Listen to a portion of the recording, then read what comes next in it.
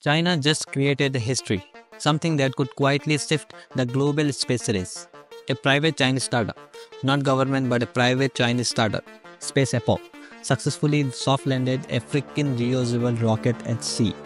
The rocket named Yuanxingzhe 1, it flew vertically up to 2.5 kilometers, shut down, reignited mid-air, hovered and landed itself in the sea. This was a startup, a company you probably never heard of executing a maneuver only SpaceX had pulled off before.